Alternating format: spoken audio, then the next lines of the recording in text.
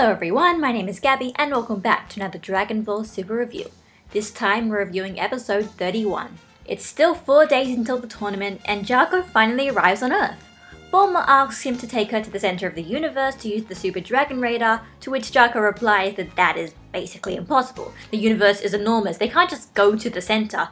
But he has another idea to find the last Super Dragon Ball. Ask Lord Zuno, an alien not too far from here who supposedly knows everything so Jaco and Bulma travel to meet Lord Zuno. After a few mishaps, they arrive before him and are able to ask whatever they want. But they end up wasting most of their requests on stupid reasons, and all they really find out is that there's only one set of Super Dragon Balls scattered amongst both Universe 6 and 7. So there's only one more ball left to find, but they can't get a complete set without winning this tournament. So, what did I like about this episode? Well, basically the entire concept of this just that you have Bulma and Jaco going off on a random adventure to some random planet to meet some random alien who's going to give them some information that's going to help them find Dragon Ball. Like, this really, it this really kind of reminds me of something that would be in basically like the very beginning of Dragon Ball. That, you know, just like random people that go meet up, they get, get some advice from them, it has to, has to do with finding Dragon Balls, and then they leave, and it's probably, they're probably not to come back or they might come back later on. I don't know, just the way that this was all just new information, new people, ex- world building, expanding the universe, and it was just really, really great. It's the kind of thing that, yeah, it just feels like it's like from early Dragon Ball, back when they used to go around and expand the lore and expand the world, and it wasn't just sort of well, no, the world isn't really that important because we're talking about the battles. Here it's like, it's not about the battles, it's about just random adventures. Of course, it's not completely like Dragon Ball because, well, the scale is much higher because they're not just on Earth, they're on another planet.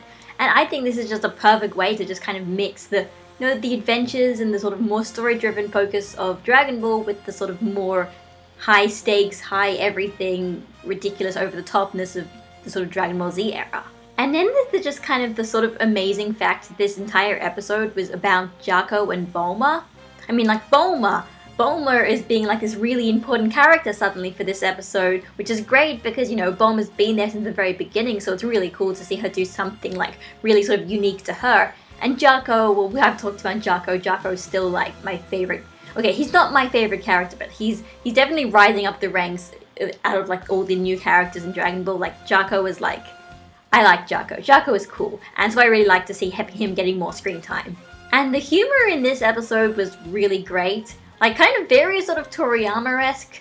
And so, so you have things like, yeah, Lord Zuno first saw his entire appearance, which is probably some kind of Japanese thing that I'm not entirely sure about. And then there's things you know, like he requires a kiss, and then it's like, then Jaco uses his wish to, well, his request to ask what Bulma's, what Bulma's bust size was, which is like very, very typical early Dragon Ball Toriyama humor. So that was great. And then there's this, there's all these other like minor stuff, like how the alien that Jaco was trying to find, his sort of crime was basically just dining and then like leaving without paying the bill and it's like this is such a this is a galactic offense the fact that he's just trying he's just leaving these restaurants without paying so like that's just hilarious as for what i didn't like about this episode just like episode 28 this episode a lot of like almost the entire scenario from like start to end was almost in, completely the same as one of the chapters in the Dragon Ball Super tie-in promotional manga.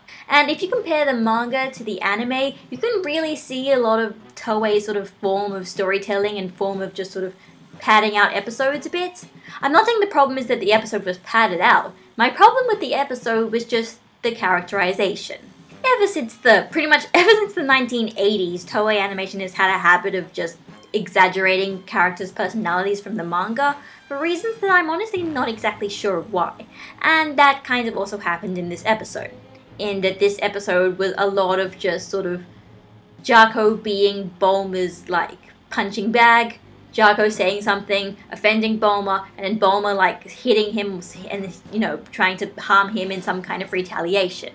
It's a joke that was played uh, quite a few times this episode itself, and I don't want them to just keep doing this because they did this in Resurrect the Resurrection F arc as well, and it's just getting old. I, I, I think this joke is just getting old. It really does remind me of what Toei did with like Bulma in pretty much like the 80s and 90s. Like Jaco right now is reminding me of Oolong. It, just that they, they're having this character whose entire purpose now seems to just be to be someone for Bulma to hit whenever they say something stupid or even when they say something doesn't even deserve it. So I that's just it. I just don't really like how they characterize Bulma and even Jaco sometimes. I mean, all the concepts are there in like the tie-in manga, but that doesn't have a lot of just jokes dedicated to just Bulma hitting Jaco. So yeah. As for next episode, it looks like we're finally actually getting to the tournament after only really like three or four episodes of preparation, which by Dragon Ball standards is surprisingly quick. We're already getting to the tournament. So, um, next episode, we're going to meet the Universe 6 participants. I mean, if you guys have seen the poster, you know who they are, but you know, we're going to get like a proper introduction to them. I'm really interested to know like what these characters are like, what their personalities are like, what they sound like, and you know, I wonder if there's going to be any voice actors that I recognize because that would be like really, really cool. So that was Dragon Ball Super episode 31. It was really fun. And it was this kind of scenario, this kind of episode that I would honestly really like to see more of.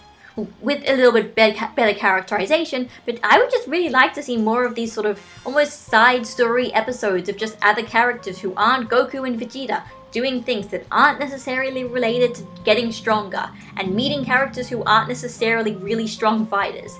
It's just, it really adds more to the universe, knowing that, you know, sometimes there are things this entire place, this entire thing doesn't just run on who can punch people the hardest. Sometimes there are just, there's just more. I mean, i am pretty sure that Lord Zuno, at least the actual design, was drawn by Akira Toriyama. And if sort of the premise for this episode was also some somewhat Toriyama's idea, I would not be surprised because it kind of did feel like something he would do. I mean, I don't know this for sure. That is just a guess, but you know, I'm just wondering. So either way, this episode was just a nice, fun little distraction before the tournament starts. Really, these last few episodes have all been just really nice, fun little distractions before the tournament starts. It's almost kind of making me not want to start the tournament because all these episodes beforehand have, re- have actually just been all really good. I hope the tournament doesn't just, you know, ruin this record and has to screw up in some sort of way. But now I'm just being overly pessimistic. You know, for all I know, the tournament will be even better, and that will be absolutely amazing. So this is Gabby, signing out, and I'll see you all next week. Bye, guys!